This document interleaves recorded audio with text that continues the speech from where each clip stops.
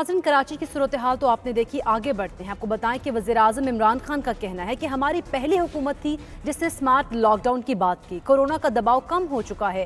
तीन दिन में पाकिस्तान में कोरोना से कम अमवात हुई। ईद और मुहर्रम उल हराम में एहतियात ना की तो केसेस फिर बढ़ सकते हैं। दुनिया इस चीज़ को आज मान रही है कि पूरी तरह लॉकडाउन नामुमकिन है। जो वायरस है कोरोना वायरस, इसके ऊपर अभी दुनिया सीख रही है।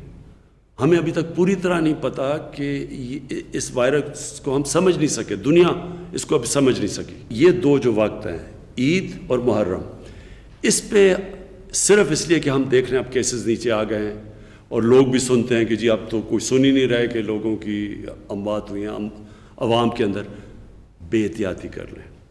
मैं फिर से कहता हूँ, ये ना शुक्री में चला जाएगा, जो ऊपर वाले ने हमारे पास ख़ास करम किया है। और इसका बहुत बड़ा नुकसान होगा। फिर से अगर ये इलाकों में लॉकडाउन लगाने पड़े इससे हमारी इकोनॉमी पे फ़र्क पड़ेगा। फिर ये जो कुर्बानी की ईद है इसमें कोशिश करें ऑनलाइन कुर्बानियाँ करवाएँ। अगर आपने जाना ही है आ, आ, वो आ, मार्केट्स में जिधर जिधर ये जानवर की ख़रीदो फरोख्त होगी तो ये पूरा मास्क पहन के जाएँ। एस ओ पीज़ के ऊपर पूरा चलें।